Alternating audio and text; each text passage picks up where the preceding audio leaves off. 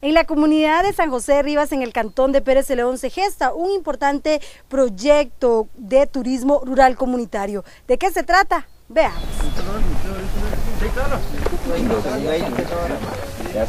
En un pequeño pueblo rural que pertenece a Pérez Celedón, hay toda una aventura para todos aquellos amantes de la naturaleza. Nosotros somos los niños de San José de Rivas. Queremos que vengan a conocer el sendero Los Gigantes. Y como los mismos niños lo dicen, usted tiene que visitarlos. Este proyecto inició hace tres años cuando el joven Cristian Ugalde, en ese momento estudiante de la Universidad Nacional, realizó su proyecto sobre turismo rural comunitario aquí, al observar todo el potencial que hay. La comunidad quedó tan entusiasmada con la iniciativa que conformaron la Asociación Ambiental Agrícola Sin Fronteras de San José de Rivas, Sendero Los Gigantes, ¿a qué se debe su nombre? El sendero, el nombre nació porque eh, a mediados de, la montaña, de bosque primario, hay dos eh, árboles de una madera que se llama tirá.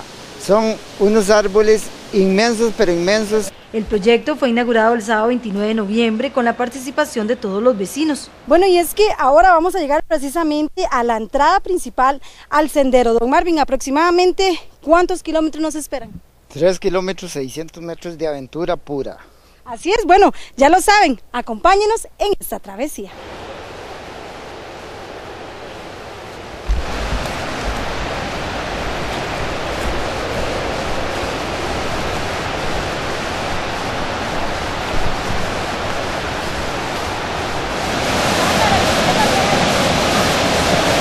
Recorrido, eso va a depender del tiempo para observar, porque yo al que llega aquí le digo que va a tener un contacto directo con la naturaleza, porque hemos tratado de, que en este sendero no se le cause ningún daño a lo que ya la madre naturaleza ha hecho perfecto por sí sola. Entonces, si las personas pueden apreciar aquí tabacones, cataratas, este, al final del sendero hay un cementerio indígena porque aquí hubo mucho asentamiento indígena.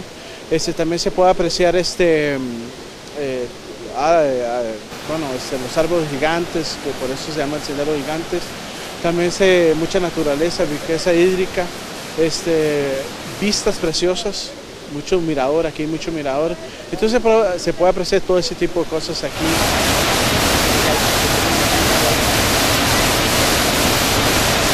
Es que precisamente durante el recorrido usted tendrá un contacto totalmente directo con la naturaleza, donde usted podrá observar aproximadamente 10 cataratas como esta.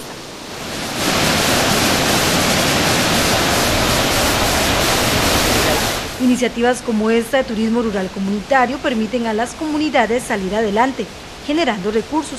Sobre todo tratar de convivir con la gente, que creo que eso es lo más importante en turismo rural comunitario, la posibilidad de que podamos tener un, un acercamiento más vivencial, es decir, que podamos compartir con la gente, con la cultura, con sus tradiciones, con sus formas de vida.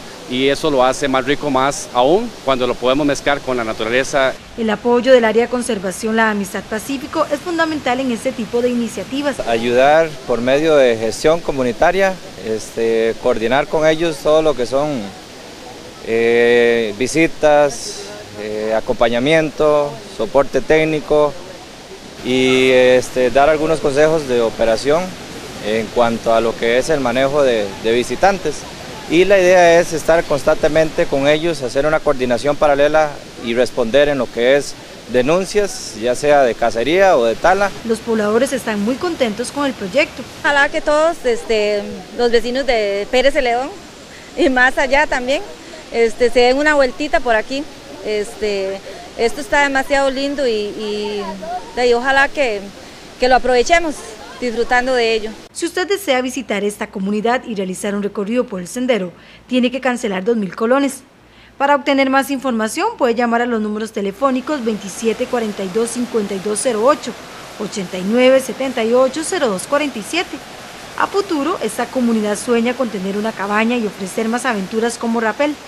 Ya lo sabe, en Pérez Celedón está una pequeña comunidad donde usted puede disfrutar de la naturaleza.